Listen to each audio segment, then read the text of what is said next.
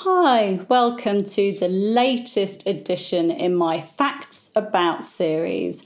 And we're up to King Edward VI, son of Henry VIII. And I'm going to share with you today 18 interesting facts about King Edward VI. So let's start.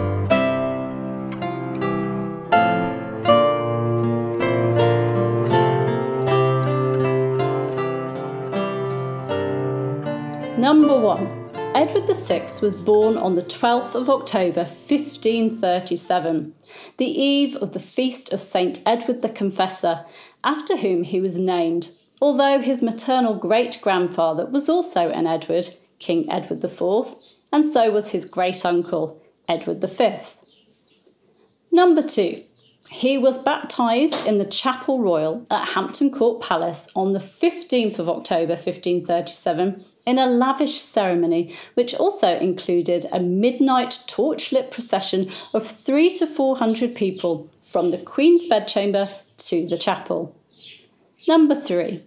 Edward's godparents were his half sister Mary, future Mary I, Archbishop Thomas Cranmer, who also baptised him, and Thomas Howard, 3rd Duke of Norfolk. Number four, the inscription on the portrait of baby Edward, painted by Holbein, bears an inscription in Latin composed by Sir Richard Morison, Special Envoy to Cleves, which translates to Little one, imitate your father and be the heir of his virtue.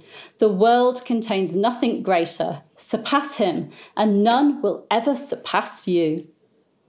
Number five.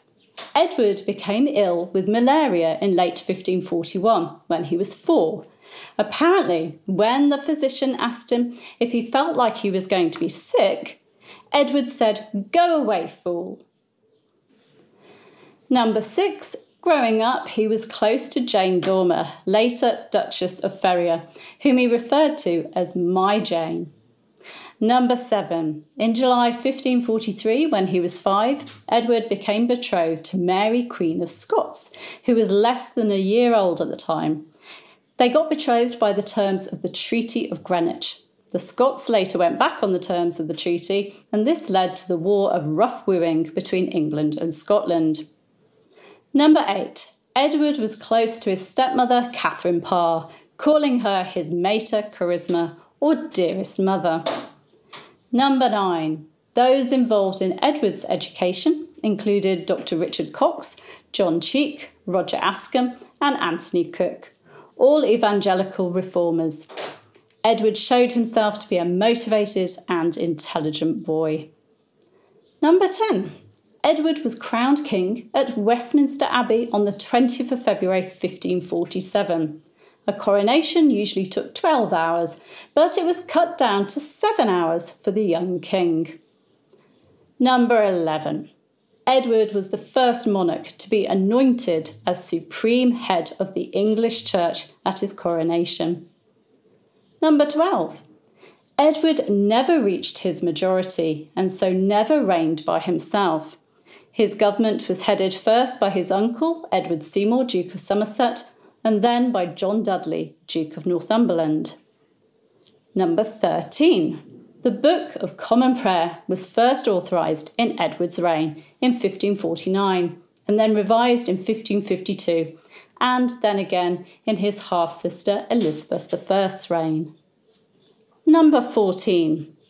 Edward knew his own mind and in 1550, at the confirmation of Bishop Hooper, Edward crossed out all reference to saints from the oath of supremacy. Number 15. Although he'd always been close to his half sister Mary, they had a difficult relationship during his reign due to her refusal to abide by his religious legislation. She defiantly continued to celebrate the Mass. Number 16. In 1552, 14 year old Edward fell ill with measles and smallpox. It's thought that this bout of illness severely compromised his immune system, so he just couldn't fight off what was thought to be tuberculosis in 1553. Number 17.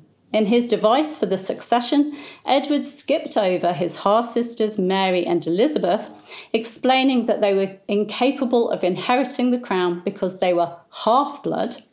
He also ruled out the Scottish Stuart line. In the final version, he chose Lady Jane Grey, granddaughter of Mary Tudor, Queen of France, as his heir.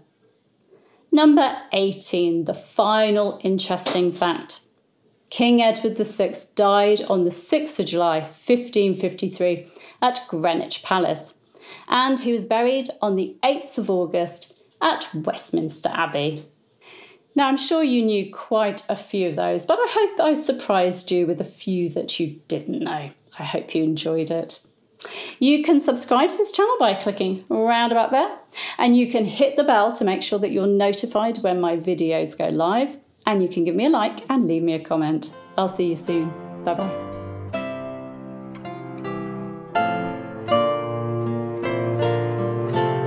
Now, I'm sure you know, you knew, blah, blah, blah, blah.